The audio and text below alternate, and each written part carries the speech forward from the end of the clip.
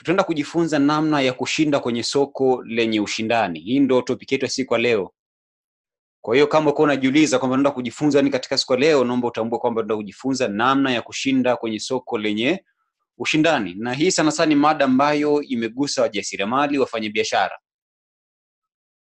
na imani pia inaweza kama imekugusa wewe ambaye unanisikiliza katika mentorship hii, ukawa unafanya biashara, lakini mwisho siku kuna vitu ambavyo vikawa vinakushinda kutokana na ushindani uliopo katika soko lako au katika biashara ambayo unaifanya au katika shughuli yako ya kijasiriamali ambayo unaifanya.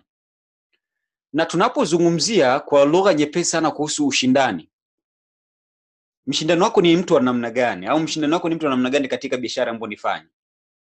Tunapozungumzia kuhusu mshindano wako katika biashara, anaweza kawa ni mfanyabiashara mwenzako ambaye anau, anauza bidhaa au huduma ambaye inafanana ya kwako.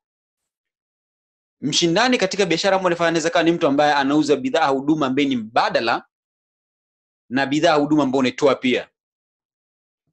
Tukichukulia mfano mzuri, tunapozungumzia kuhusu Coca-Cola na tunapozungumzia labda kuhusu maji ya Jambo au tunapozungumzia Sequoia wanaotengeneza maji, soda na maji ni bidhaa mbili ambazo ni mbadala, yaani kwamba kuna watu ambao wakijisikia wakisikia kiu hawanywi maji, wenye wanakunywa soda, unakuwa ni mbadala wa kiu yao. Na vile vile kwa upande mwingine kuna watu ambao wakisikia kiu hawanywi soda, lakini wanakunywa maji.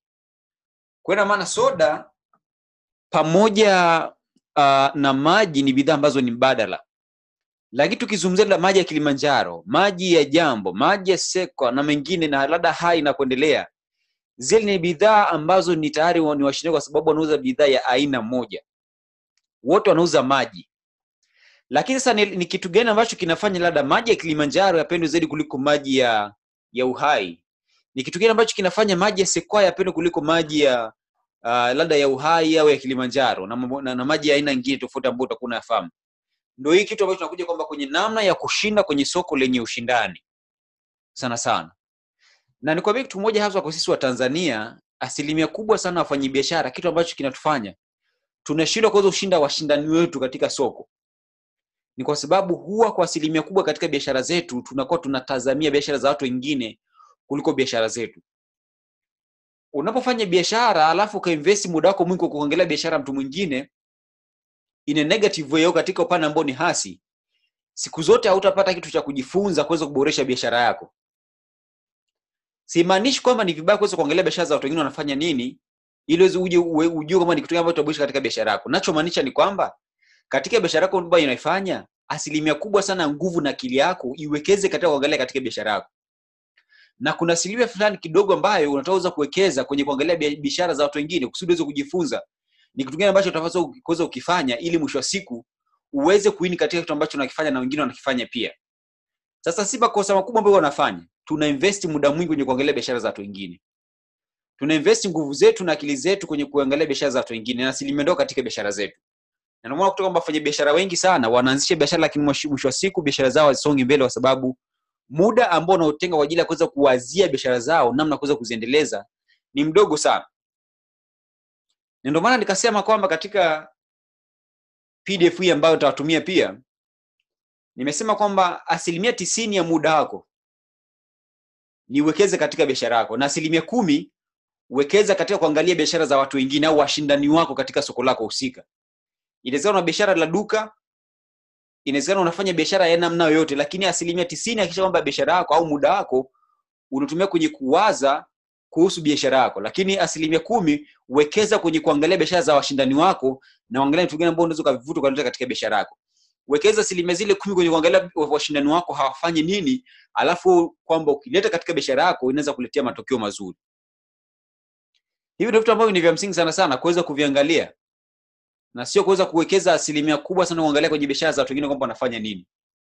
Na nikupa labda siri moja katika biashara hasa zenye ushindani hapo ukiangalia mwanzoni katika pdf nimekwambia kwamba nimesema kwamba uh, ukitaka kushinda katika soko lenye ushindani ambalo unaona kama nguvu yako ni ndogo jitahidi kuwa mbele katika kufanya vitu ambavyo unajua shindani wako lazima utajua kuvifanya tu. Yaani kuna muda ili uweze kushinda katika soko ni, ni lazima uweze kuwa mwepesi kuweza kujifunza na kuchukulia hatua katika vitu ambavyo unaona kabisa kwamba washindani wako lazima kwa baadaye pia watachukulia hatua katika vile vitu. Namaanisha nini ni lazima uweze kuwa mtu wa kujifunza vitu vipya kwa uharaka zaidi. Lakini vile vile katika ushindani wa kitu ambacho unakifanya kuna vitu ambavyo utaweza kuvifanya ili uweze kushinda washindani wako. Kuna mfano mmoja nisha kutoa nikasema kwamba katika biashara kuna vitu ambavyo vinatofautiana au kuna vitu ambavyo vinamvuta mteja katika biashara ya mtu mwingine. Inaweza ikawa ni utoaji wa huduma inaweza ikawa ni package ya bidhaa. Inaweza ikawa ni rangi ya package ya zile bidhaa. Inawezekana ikawa ni trans, yani ikawa ni mambo ya upatikanaji wa bidhaa. Inawezekana ikawa ni urahisi wa mtu kuweza kuletewa bidhaa ambayo anahitaji kwa sababu asilimia kubwa wateja ni wavivu.